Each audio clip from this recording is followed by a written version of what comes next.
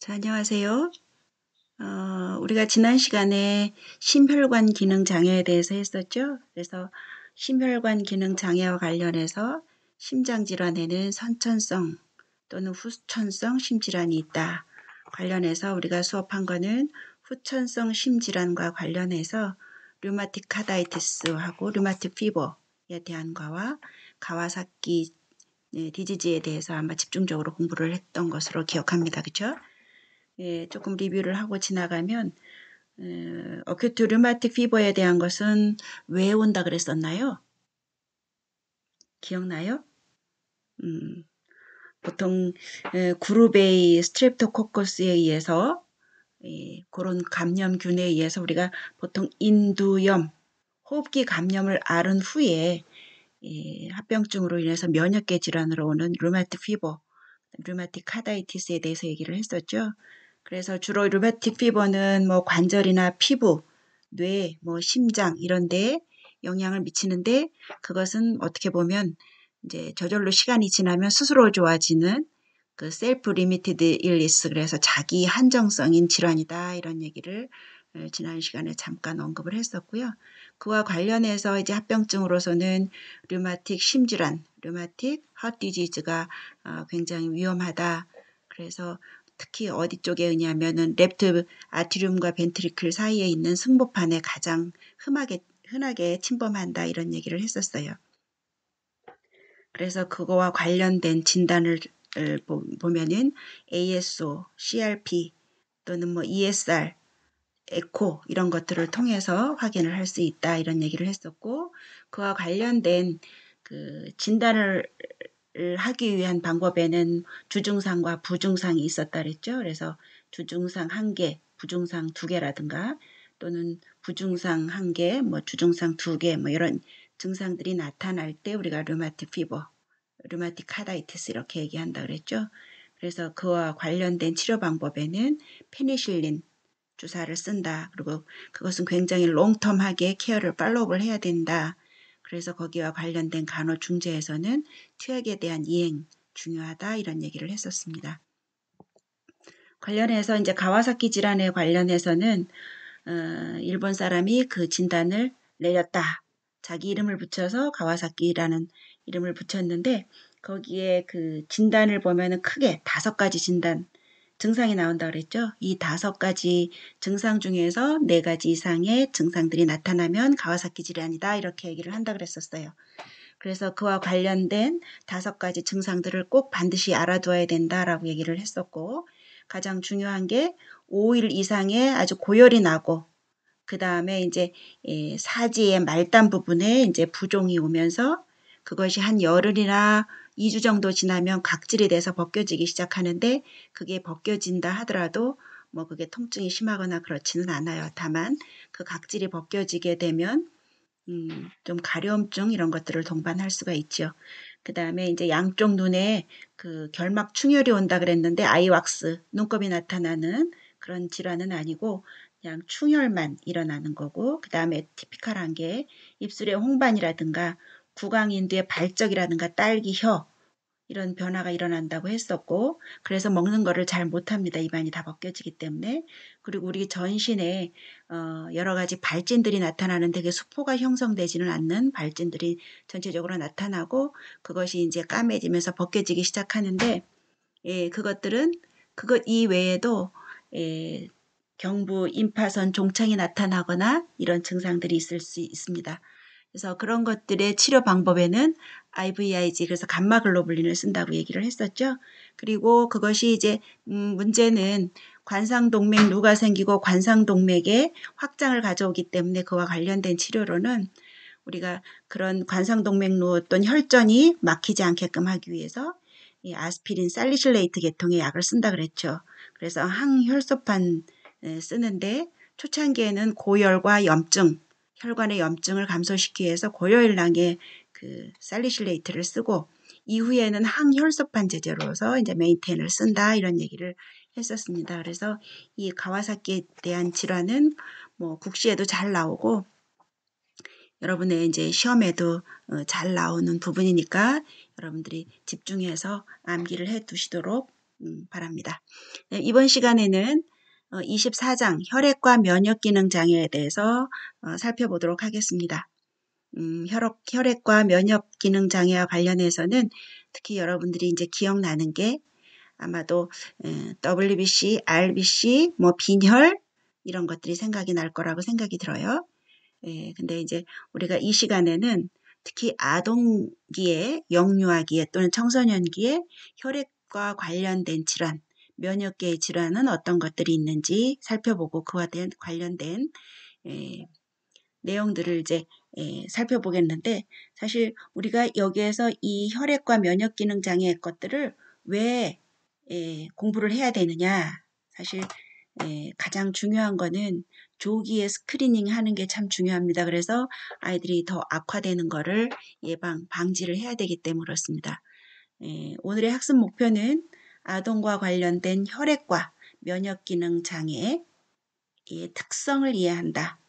그 다음에 두 번째는 혈액과 면역 기능 장애 아동의 간호 중재 계획을 수립할 수 있다. 그래서 우리가 이 시간에 이 혈액과 관련된 질환 예, 익히고 나면 임상에 나가면 그런 아동을 맞닥뜨렸을 때 충분히 어세스먼트하고 간호 중재 계획을 세울 수 있어야 된다라고 생각합니다. 자, 이 시간에 특별히 우리가 살펴볼 거는 적혈구 질환과 관련해서 빈혈, 빈혈의 종류를 볼 거죠. 빈혈의 종류에는 뭐 여러 가지 종류가 있지만 특히 우리가 살펴볼 거는 이 철결핍성 빈혈과 겸상 적혈구 빈혈, 재생 불량성의 빈혈 이런 정도를 살펴볼 것이고요. 두 번째 지혈 장애와 관련된 그 혈액 질환으로서 헤모필리아, 혈우병에 대해서 살펴보도록 하겠습니다. 그 다음에 이제 마지막으로 면역 결핍 장애와 관련해서 HIV 살펴보도록 하겠습니다. 우선 어, 혈액과 면역 기능 장애와 관련해서 어, 적혈구 질환 이렇게 붙였는데 red blood cell disorder 이랬어요. 그래서 여러분들이 아마 병원에 가면 모든 환자들에게 피를 뽑아서 CBC 검사를 하는 것을 봤을 거예요. 그 CBC에서 여러분들이 가장 눈여겨보는 게 뭐냐면 어, WBC가 얼마인가 또는 헤모글로빈이 얼마인가 헤마토크릿이 얼마인가 이런 것들을 주로 살펴보죠. 그래서 그거를 보는 이유는 뭔가 네. 여기서 첫 번째 나와 있는 헤모글로빈 빈혈 상태가 어떤가 이런 거를 보는 거죠. 그 다음에 이제 빈혈의 종류에는 어떤 것들이 있는지 살펴보도록 하겠습니다. 자, 빈혈이라는 것은 뭐냐면 어, 우리 blood 속에 예, 적혈구 수가 어, 얼마나 되는가, 정상 이상인가, 정상 이하인가 이런 것들을 살피죠. 당연히 빈혈은 헤모글로빈이 정상 이하인 경우를 이제 빈혈이라고 얘기를 하죠. 그래서 이 빈혈 일단 뭐 blood 피가 모자란다 이렇게 이야기 얘기하면 여러분들이 가장 걱정되는 게 뭘까요? 뭘 생각을 하게 될까요? 그렇다면 헤모글로빈의 역할에 대해서 한번 생각을 해보게 되겠죠. 예, 그래서 어, 헤모글로빈이 부족하다 그러면은 결국은 그 blood가 하는 역할들을 살펴보는 거죠. 혈액을 공급해주고 영양을 공급해주고 이런 것들이 혈액 헤모글로빈이 하는 역할인데 이런 게 부족하다 그러면 당연히 아이들은 산소가 부족하다. 그래서 머리도 아프고 두통도 있고 때에 따라서는 어지럽기도 하고 이런 증상들이 나타나겠죠. 그렇다면 우리가 빈혈을 분류하는 거에 있어서 예, 크게 예, 두 가지로 분류를 할 수 있는데 하나는 생리적인 불안, 아니, 생리적인 빈혈, 또 하나는 형태적인 빈혈 이렇게 구분해 볼 수 있겠습니다. 자, 여러분 교재 426쪽에 보면은 예, 전혈구 계산 예, WBC count 하는 게 나와 있고 표 글상자 24-1에 보면 적혈구의 형태적 특성 이런 게 나와 있습니다. 그래서 표에 보면은 여러분들이 피 검사를 했을 때 정상과 비정상을 구분해낼 수 있는 검사 수치를 나타내는 것이고 그 다음에 적혈구의 형태적 특성 보면은 여기 표에 나 여러분의 표에 여기다 이제 갖다 놨는데 이거는 blood 검사를 해가지고 stained glass에다가 놓고 smear 그래서 유리를 놓고 쫙 blood를 밀었을 때 밀고 나서 그것을 현미경으로 바라봤을 때 예, 세포의 크기가 어떤가 RBC의 형태가 어떤가 이런 거를 평가하는 겁니다. 그래서 어, 일단 뭐 smear 해가지고 적혈구의 형태적으로 분류를 해본다 그러면 음, 적혈구 세포의 크기가 어떤가? 그래서 적혈구의 크기가 정상인가 정상보다 작은가 또는 큰가 이런 것들을 살펴보겠고 또 적혈구의 모양이 어떤가? 규칙적인가 불규칙적인가? 아니면 예쁘게 동그랗게 적혈구의 모양을 갖추고 있는가? 또는 이 적혈구의 모양이 헤모글로빈의 모양이 이렇게 난 모양으로 휘어져 있는가 겸상적혈구라고 얘기하는데 그런 모양을 가지고 있는지 또는 헤모글로빈의 RBC의 색깔은 어떤가 그래서 그 색깔에 따라서 우리가 이제 빈혈이 있는가 없는가 이런 것들을 이제 현미경으로 보아서 평가할 수가 있겠죠. 자 그렇다면 24-1 표에 나와 있는 우리가 RBC에 대해서 잠깐 어, 짚고 넘어가도록 하겠습니다. 자 RBC는 조금 전에 얘기했듯이 헤모글로빈하고 연관이 되죠. 그래서 이 헤모글로빈의 수치가 RBC의 수치가 얼마인가에 따라서 우리가 정상보다 많다 적다 이런 거를 얘기하는데 RBC라는 것은 그야말로 우리 블러드의 예, 색깔을 나타내는 거예요. 빨간 빛깔을 내는 게 결국은 이 RBC 때문에 그러는데 그러면 이 RBC는 정상 수치가 얼마인가? 네, 여러분이 물론 생리학 시간에 다 배웠을 거예요. 그래서 어, 피검사에서 보면 여러분들은 RBC가 4.5에서 5.5입니다. 헤모글로빈이 11.5에서 15.5가 정상입니다. 이렇게 얘기를 하는데 자, 이 RBC라는 것이 4.5에서 5.5 단위가 뭡니까? 밀리언이죠. 밀리언은 얼마를 얘기하죠? 음, 여기에 보면은 평방 밀리미터당 적혈구 수를 얘기하는데 4.5에서 5.5 곱하기 million이라는 것은 100만을 얘기하죠. 그러니까 보통 미리미리 평방 밀리미터 안에 어, 이 얼마가 있냐면 450만에서 550만이 있다는 얘기예요. 그리고 헤모글로빈은 음, 뭐 11.5, 15.5 사이라는데 물론 나이에 따라서 이 기준이 조금씩 달라지기는 합니다. 그 다음에 적혈구, 어, 뭐 적혈구 수치가 이래. 헤모글로빈 수치가 10보다 이하로 떨어졌어. 아니면 10보다 올라갔어. 이거를 가지고 우리가 빈혈을 평가하는데 이 RBC, 이 RBC의 모양에 따라서 이 빈혈이라도 어떠한 문제가 있는 빈혈인가를 평가할 수가 있습니다. 그래서 이 RBC를 보면 그 밑에 검사에 보면은 여러분들이 CBC에서 검사 헤모글빈이 얼마 나왔고 그 다음에 뭐 MCV, MCH, MCHC 또는 RDW가 어떻게 나와 있습니다라고 열심히 여러분의 랩에 그러니까 SOAP 관호과정 적용하는 것 중에 objective 데이터에다 이런 걸 넣습니다. 그러면 MCH가 뭐고 MCH, MCV가 뭐냐고 물어보면 대답들을 못해요. 이 시간에 한번 다시 확인을 하도록 하겠습니다. 여기서 MCV라고 하는 것은 mean corpuscular volume이라고 얘기하는 거예요. corpuscular라는 것은 뭐냐면은 밀입자 뭐 이런 거를 얘기하는데 이거는 MCV는 적혈구 한 개 평균의 음, 평균의 크기 부피가 얼마나 되는가 이런 거를 뭐 펜토리터 뭐 이렇게 표시를 하지요. 그래서 평균 적혈구의 용적이 얼마인가 그 용적이 떨어지면 빈혈인 거죠. 그 다음에 MCH라고 하는 것은 Mean Corpuscular Hemoglobin 그래서 한 개의 적혈구 내에 포함되어 있는 헤모글로빈의 평균 무게를 얘기하는 거예요. 그래서 무게가 어떤가 그 다음에 MCHC 이거는 concentration 그야말로 농축된 것이 어느 정도 되는가 그래서 적혈구 한 개당 평균 농도가 얼마나 되는가 그 다음에 RDW는 DW는 적혈구 평균의 크기 그랬어요. 아까 형태학적으로 봤을 때 그 모양이 크기가 어떤가 또는 색깔이 어떤가 이런 것들을 보는 게 결국은 이것들을 보는 거예요. 그래서 이것이 원인이 무엇인가 빈혈의 원인이 무엇인가를 결국은 이 지표를 보고 확인해내고 진단을 붙일 수 있는 부분들입니다. 그 다음에 이제 WBC를 보겠는데 이거는 우리가 보통 WBC에서 백혈구 수치가 얼마인가 WBC가 백혈 화이트 블러드 셀이 얼마인가 그래서 많이 넘으면 예, 염증이 있다 뭐 이렇게 얘기를 하죠.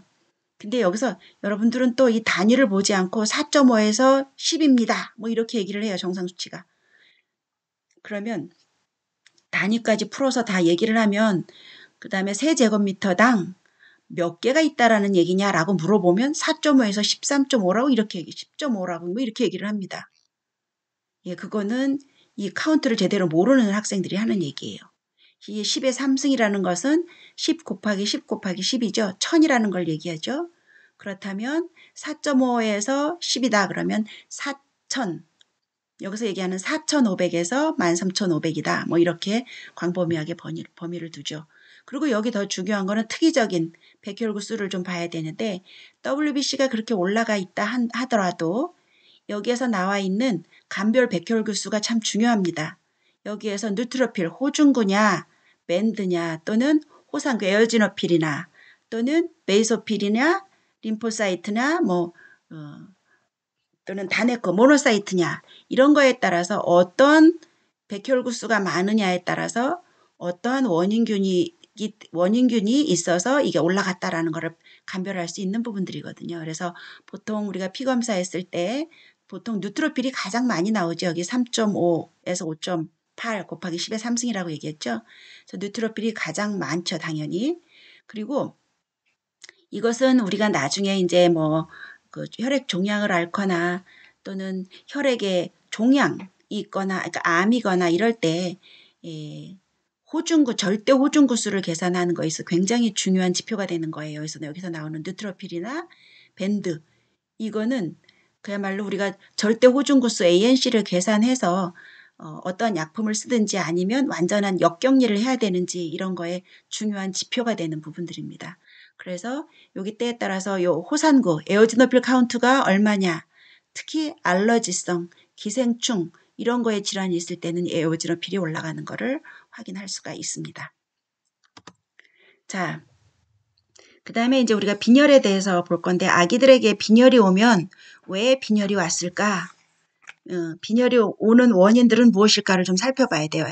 이 우리가 영양 보충을 잘하고 그 다음에 거기에서 충분히 헤모글로빈, 산소를 포함한 영양분들이 전신에 공급이 돼서 어, 거기 영양 공급이 되고 그래야지 성장 발달이 이루어지는데 어떠한 원인에 의해서 빈혈을 앓게 된다 그러면 아이들이 정상적인 성장 발달을 할 수가 없습니다. 그렇기 때문에 예, 아이들이 뭐 창백하거나 아니면 아주 기력이 떨어져 있거나 아니면 뭐 아주 쉽게 피로감을 느낀다거나 또는 뭐 어떠한 평상시 정상 아이들의 활동과 달라졌을 때 왜 그런지 원인을 찾아봐야 됩니다. 그래서 빈혈에 영향을 미치는 것들, 특히 뭐 영향을 미친다라는 것은 어떻게 보면은 빈혈의 원인들을 분류를 해볼 수가 있겠는데 여기에 보면 빈혈은 크게 에, 아예 적혈과 RBC 자체를 생산을 잘 못해. 그래서 적혈구 생산이 저하되어 있는 경우 그리고 또 하나는 적혈구를 다 만들어내기는 했지만 그게 어떤 그 트라우마로 인해서 적혈구가 확 소실이 됐다든지 또는 적혈구는 생성이 됐지만 이게 원, 어떤 원인들에 의해서 자꾸 파괴가 돼요. 그래서 적혈구의 수치가 적어, 적어지면 이제 빈혈이 되는 거죠. 그렇다면 크게 이렇게 세 가지로 분류를 해볼 수 있겠는데 적혈구 생산이 저하되는 것은 중, 어, 굉장히 아주 큰 문제죠. 그래서 이런 것들에는 어떤 것들이 있는지 살펴본다 그러면 첫 번째는 이제 영양 시기와 관련이 되는 거죠. 영양 결핍과 관련이 된 것들, 뭐 철분 또는 엽산, 비타민 B12, 뭐 구리, 뭐 이런 이 영양 결핍 때문에 오는 빈혈. 자, 여기서 철분 당연히 헤모글로빈하고 묶는 1대 4의 비율이 있죠. 그리고 엽산이라는 것은 어떻게 보면은 음, 비타민의 한 종류죠. 그죠? 예. 비타민 B 복합체라고 볼 수 있겠는데 이 엽산이 결핍되면은 특히 임산부에게서 이 엽산이 결핍되면은 아이들에게 굉장히 큰 손상을 줍니다. 신생아 기형을 가져온다든지 또는 엽, 일반 정상인들, 정상인들도 엽산이 부족하게 되면 노화가 빨리 옵니다. 예, 근데 이 엽산은 철분과 함께 적혈구를 형성하는데 필수 성분입니다. 그래서 이런 엽산이 부족한다거나 이런 것들은 빈혈의 원인의 예, 중요한 문제가 되겠죠. 어, 중요한 원인이 되겠죠. 그 다음에 이제 또 하나는 골수 생산을 저하시킨다는 것 중에 아니, 적혈구를 예, 생산을 저하시키는 것 중에 보면은 예, 급성 뭐 백혈병이라든가 또는 신경모 세포의 문제라든가 예, 그런 것들 때문에 골수 기능에 장애가 발생이 돼서 예, 혈액 적혈구를 생산을 잘 못해내는 것들입니다. 그래서 우리가 같이 공부하게 될 재생 불량성 빈혈이라든지 또는 악성 그 종양이라든지 암이죠. 그 다음에 뭐 급성 어큐트 림포사이틱 루케미아 이런 것들은 다 적혈구 생산을 저하시키는 거예요. 그래서 빈혈이 오는 것이 있습니다.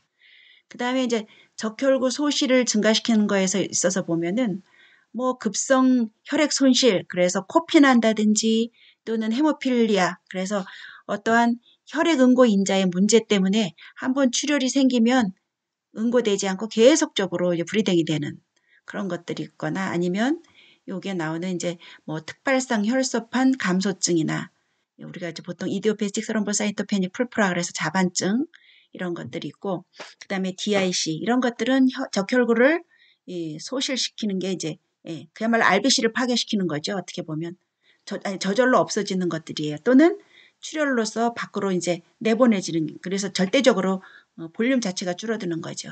그 다음에 이제 적혈구 파괴의 증가 이랬는데 이것들은 혈구 내에서 헤모글로빈의 그 이상증 이 있거나 또는 혈구 외에 어떠한 그 항암요법을 하든지 방사전요법을 하든지 그러면서 그런 화학요법 중에서 치료를 하면서 적혈구가 파괴되는 이런 것들로 인해서 빈혈이 올 수 있다라고 크게 분류를 할 수가 있습니다. 자 그렇다면 음, 빈혈의 증상들을 보면은 뭐 예, 굉장히 이 요, 여러분 표에서도 나와 있지만 점성이 굉장히 어때요? 예, 뭐 때에 따라서는 출혈이 많아졌을 때는 끈적끈적 해줄 수도 있겠고 또는 볼륨은 많은데 헤모글로빈 자체가 줄어들기 때문에 굉장히 농도가 저하되어 있는 경우도 있을 수 있고.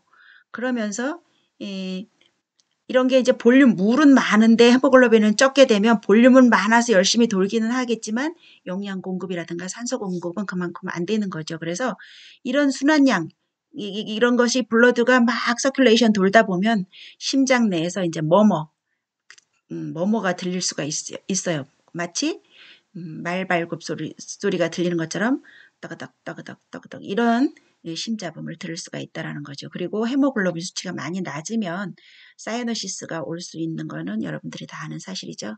그래서 이런 것들을 우리가 빈혈을 빨리 조기에 빨리 발견을 해서 이거에 대한 중재를 해야 되잖아요.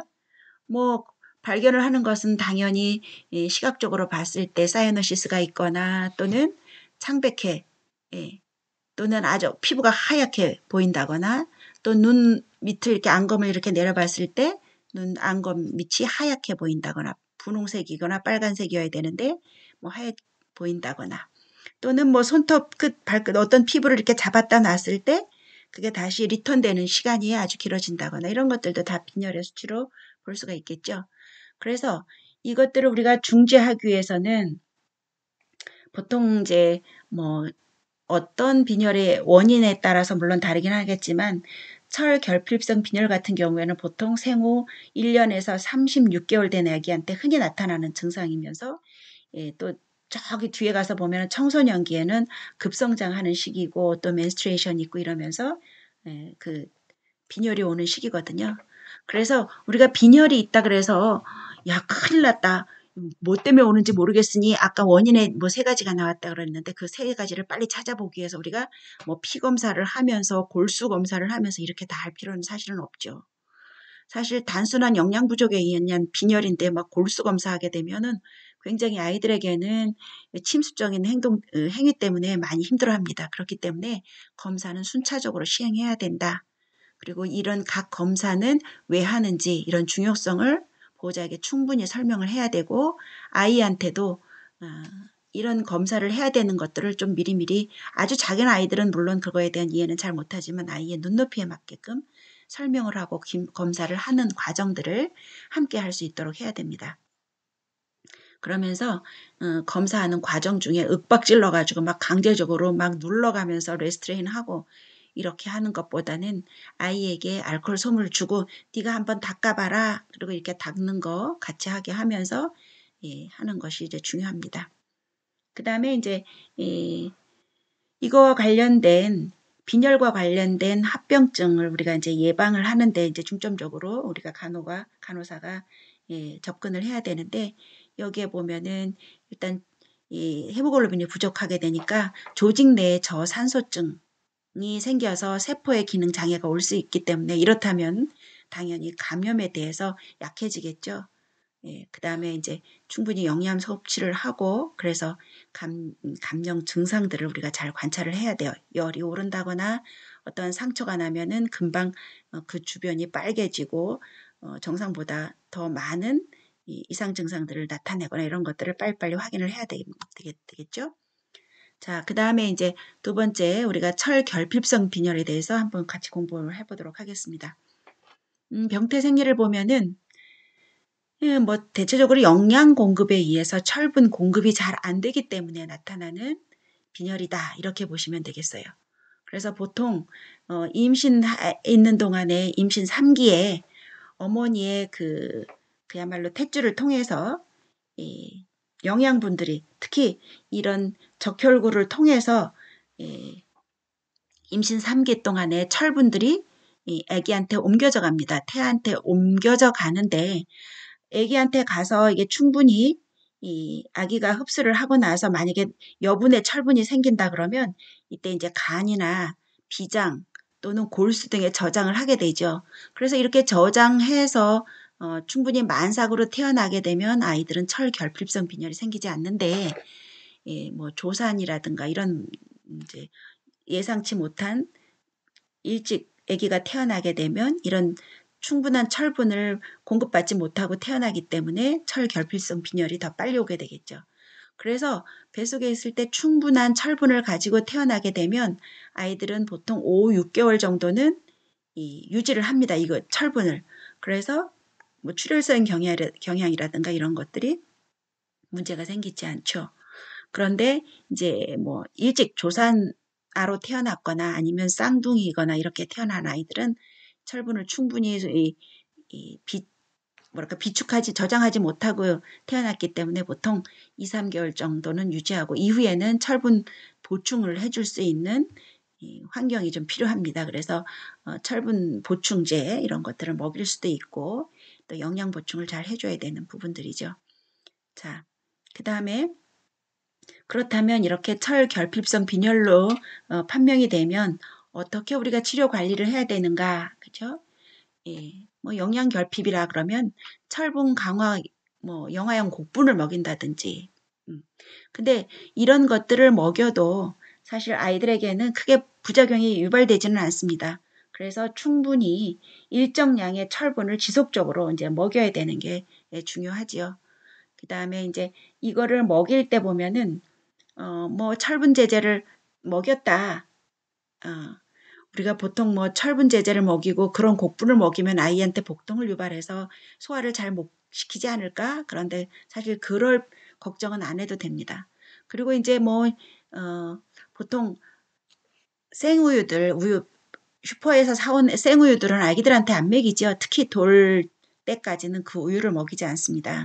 그 이유는 그 우유 속에 있는 우유 단백질이 아이들에게 아직 그거를 충분하게 예, 소화 흡수시킬 수 있는 그런 능력들이 안 돼 있는데 이런 우유 단백질이 들어가게 되면 알러기, 알레르기를 유발시킬 수가 있어요. 그래서 위장 출혈을 일으킬 수도 있고 그렇기 때문에 생유를 주지 말라 이렇게 되어 있습니다. 그리고 이제 관련된 철분 강화의 분유, 또 곡분 이런 것들을 먹이게 되면 이 철분은 잘 들어가서 흡수가 돼야 되죠.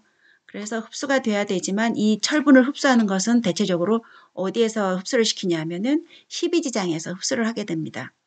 그리고 12장에서 흡수하게 되는데 에, 이것은 상태가 산성 상태에서가 더 잘 흡수를 하게 됩니다. 그래서 보통 철분을 먹일 때에는 비타민 C, 오렌지 주스 뭐 이런 것들을 같이 먹이면 훨씬 소화 흡수가 잘 되기 때문에 이거 시험에도 잘 나오는 부분이에요. 그래서 철분 제제를 먹일 때는 예, 반드시 비타민 C하고 같이 먹여라. 그리고 산성 환경에서 잘 흡수가 된다고 그랬으니까 언제 먹여야 되냐면 어, 식사와 식사 사이에 식간에 먹이면 위에 위액이 염산이잖아요. 그 위액이 많이 나와 있을 때 먹이면 이런 철분 제제 흡수가 훨씬 빠릅니다. 그래서 식사와 식사 사이에 식간에 철분 제제를 먹인다라는 건 여러분들이 반드시 외워두어야 될 익혀두어야 될 내용들입니다. 그 다음에 이제 결, 철, 어, 경구용 철분 제제를 먹게 되면 좀 부작용이 나타날 수가 있어요. 뭐 설사나 변비, 오심 이런 것들이 나타날 수 있기 때문에 뭐 그것 때문에 나타날 이런 것들을 이제 우리가 인지를 하고 보호자에게 이런 것을 먹일 때 이런 철분 제제를 먹일 때 이런 것들이 나타날 수 있습니다. 라는 것을 반드시 얘기를 해줘야 됩니다. 또 더더군다나 이 철분 제제를 먹이게 되면 대변 색깔이 달라져요. 대변 색깔이 달라지는 거에 대한 것도 꼭 반드시 얘기를 해줘야 됩니다. 예를 들자면 변 색깔이 어떻게 변해지냐면 검은 녹색, 예, 검은색을 띤 녹색 이런 대변을 보게 됩니다. 또는 초록색을 띤 검은 변, 뭐 이런 것들을 보게 되는데 그거를 보게 되면 보호자들이 깜짝 놀라겠죠. 우리의 대변 색깔이 왜 이렇게 됐는지 이런 거에 대한 거는 보호자에게 충분히 인지를 시켜줘야 된다라는 거죠. 그래서 간호 중재 방법에 철분 제제를 먹이는 철분 결핍성 빈혈에서 철분 제제를 먹일 때 주의해야 될 것, 보호자에게 교육해야 될 내용들이 바로 이런 것들입니다. 식간에 투여하라, 그 다음에 신과일이나 주스 함께 먹여라, 그 다음에 어, 우유에는 철분 흡수 방해 물질이 있기 때문에 철분을 먹일 때는 우유하고 함께 먹이지 말아라. 그 다음에 변의 색깔이 검은색이 섞여 있는 녹색 이런 변입니다. 그 다음에 만약에 변의 색깔이 변하지 않으면 철분 섭취가 제대로 안 된 거기 때문에 예, 투약하는 방법을 조금 조절을 해야 돼. 먹는 거로 안 된다 그러면 필요시에 이제 주사를 주게 근육 주사를 주게 되겠죠. 그래서 근육 주사를 놓을 때는 그냥 IM처럼 놓게 되면은 바늘이 나오는 부분들이 이렇게 철분이 다 어, 스며 나오기 때문에 피부가 또 까맣게 착색이, 착색이 됩니다. 그래서 근육을 한쪽으로 쭉 밀어놓고 주사를 놓고 나서 밀렸던 근육을 다시 놓게 되면 그 거기가 덮이기 때문에 피부가 착색되는 것을 예방할 수가 있습니다. 그 다음에 이제 만약에 철분 제제가 액상으로 되어 있는 거다 그러면 그 액상이 치아를 변색할 수 있기 때문에 빨대나 점적기를 이용해서 구간 안쪽에다 깊숙이 넣어서 철분 제제를 투여해야 된다라는 거예요.